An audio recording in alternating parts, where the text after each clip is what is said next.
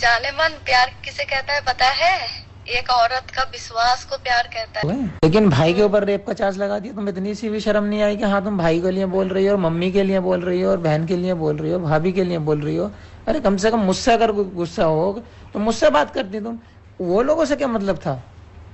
अच्छा अच्छा शर्म?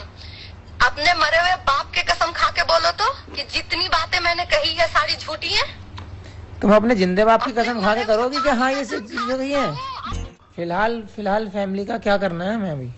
क्या करना है? दुनिया के सामने आओ पूरा दुनिया के सामने आओ अपनी गलती स्वीकार करो और माफ़ी मांगो। फिर? फिर कुछ नहीं। फिर सब कुछ सही हो जाएगा फिर उसी तरह से कमिटमेंट करना होगा हमेशा।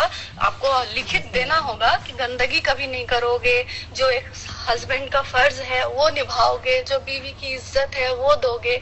सब लिखित में देना होगा। तो ये चीज़ कभी कब नहीं हुई है? ये तो बताना जरा मुझे। मैंने क्या बोला आपको? झूठ बात के ऊपर कोई बात नहीं करनी मुझे।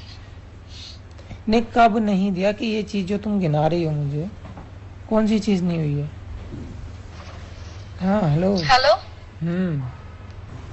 ये चीज़ अब खत्म कैसे होगी? अब ये बताओ मुझे तुम। पूरे देश के सामने जो तुमने ये जो खड़ा हो गया सारा चीज़ समझे? अब तो ये हो गया। अब ये फैमिली कैसे बचेगी कैसे होगी कैसे साथ रहेगी क्या क्या होगा क्या अब इसका? ठीक है वो तो बात के वो तो बात को सोचना ही है क्या होगा ये तो मैंने पहले भी आपको बार बार समझाने की कोशिश करी। लेकिन फ़िलहाल आप ये बताइए कि जो ये गंदगी मैंने दुनिया के सामने दिखाई है वो आपने करा है हाँ या ना? नहीं भाई ये ये ऐसे जो तुमने किया है ये सही किया है? तुम्हें जो तुम्हें लगता है ये सब? आपने जो ये गंदगी किया है हाँ या ना? नहीं नहीं ये ये सब एक्सेप्ट नहीं करूँगा। मेरे से वही मैं कह रहा हूँ तुम तुम तुम फैमिली के बारे में बिल्कुल सोच ही नहीं रही हो। तो फिर जब आप गलत किए नहीं है तो आप क्यों फैमिली हाँ के फिर बारे में सोच सामने बैठ के बात करो फिर। आप लायक हो सामने बैठ के बात करने की? आप जैसा गंदा बेवकूफ़ इंसान आप आप लायक हैं आप बात करने के? हसीन मैं तो ये, आपका ये फ़ोन नहीं नहीं मैं आपको तक नहीं उठाना चाहती थी। लेकिन फिर भी एक बार ट्राई मारी कि देखूँ घटियापन का कौन हद में अभी तक है आप? लेकिन ना वही हद में है। हद नहीं गई आपकी। चलिए कोई बात नहीं। आपको भी आप मतलब हम फैमिली के लिए बात कर रहे हैं हम लोग प्यार वाली बात कर रहे हैं और तुम अभी घटिया और उसमें ही पड़ी हो। जाने मन प्यार किसे कहता है पता है? एक औरत का विश्वास को प्यार कहता है। मैंने आपके साथ कोई धोखेबाजी नहीं की लेकिन आप जब दस औरत के साथ सो गए, यानी प्यार कुछ नहीं था। इसका मतलब ये हुआ कि प्यार कुछ नहीं था। जब मेरे होते हुए मैं बीवी निकाह की हुई बीवी आकी जब होते हुए जब दूसरी लड़की को छू लिया तो प्यार कहाँ रह गया फिर? अगर प्यार रहता तो ये नहीं करते। समझे। जब बात मान के दोगे नहीं तो ये कोर्ट अदालत पुलिस पब्लिक मीडिया ये इन लोगों को इन लोगों के हाथ पे चली गई ये बातें इन लोगों के ऊपर छोड़ दीजिए।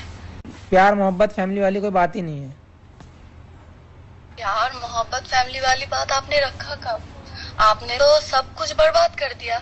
जब आपने नंगापन में उतर आए तुम ये बताओ बैठ कर बात करोगी या नहीं? बात क्योंकि आप ये चीज़ बैठ कर ही बात खत्म हो सकती है मेरे साथ वरना बैठ के बात खत्म नहीं होगी। पहले ये बताइए अपनी गलती मानोगे कि नहीं? देखो आमने सामने बैठो जो भी गिले शिकवे हैं जो भी मानोगे? गुनाह गुले गिले सिकवे नहीं गुनाह करा है गुनाह। गुनाह मानोगे या नहीं? बैठो बात करो जो भी चीज़ें हैं अगर मीडिया को बुलाओ यूपी में ही बुलाओ मेरे पास भी आने की ज़रूरत नहीं है।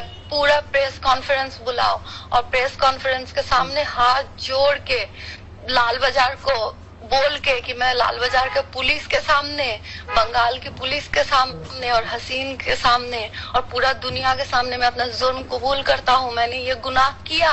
मैंने हसीन के साथ ये जुल्म किया। मुझे कबूल है और मैं माफ़ी माँगता हूँ। हसीन, ये ज़बरदस्ती वाली बातें करवा रहे हो आप।